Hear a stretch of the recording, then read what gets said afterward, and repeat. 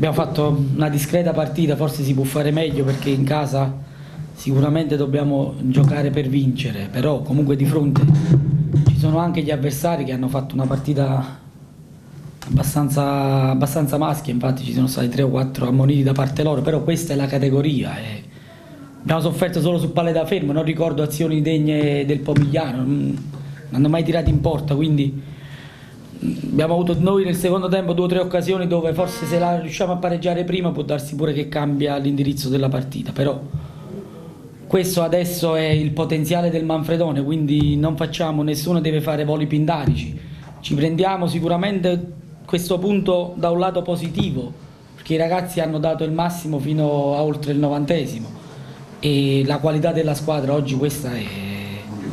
mi riallaccio ad un discorso, io sono da 50 giorni a Manfredonia. Sono arrivati grazie a me che ho messo la faccia 15-16 giocatori nuovi, perché quando siamo arrivati eh, forse erano presenti 3-4 giocatori, il resto erano tutti ragazzini messi lì in mezzo al campo.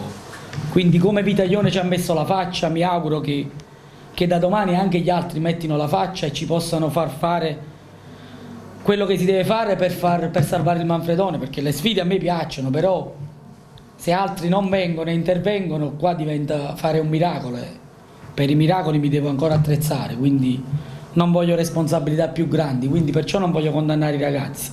Perché il potenziale del Manfredoni è questo se poi qualcuno pensa che oggi il Manfredone doveva vincere 3-0 col Pomigliano forse è proprio sulla strada sbagliata.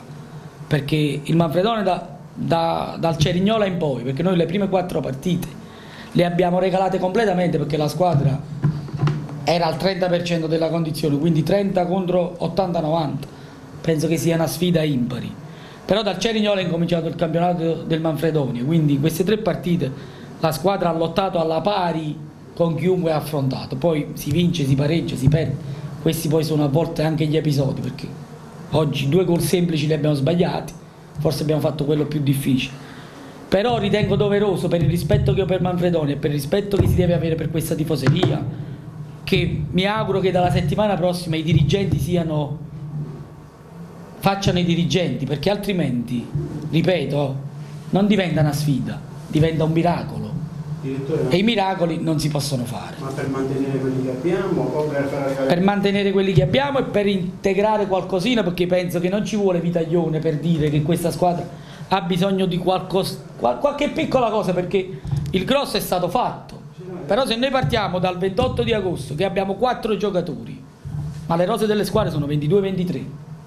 Direttore, per cosa sta cercando lei se le danno la possibilità di... Noi, un terzino sinistro è un, uh, un centrocampista. Se poi mi facessero prendere un altro attaccante sarebbe l'ideale. Però non voglio chiedere troppo. Voglio che questa squadra venga integrata con un terzino sinistro, con un centrocampista e vengano risolti i problemi quotidiani che il Manfredoni ha perché io credo che uno alla fine al termine del campionato ce la giochiamo, può darsi pure che si retrocede, per l'amor di Dio, però si retrocede con onore. Si retrocede che abbiamo accettato tutti la sfida, ma da solo Vitaglione, oppure da solo la squadra, noi non possiamo fare niente, perché le, le società di calcio ci sono le varie componenti e ognuno deve fare il suo.